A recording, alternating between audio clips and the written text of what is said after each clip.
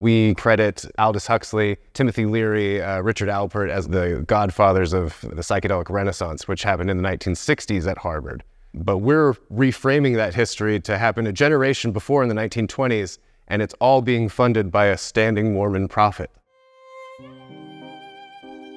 For me, it actually makes a lot of sense. And I don't think it's a hard bridge between mysticism and Mormonism and psychedelics.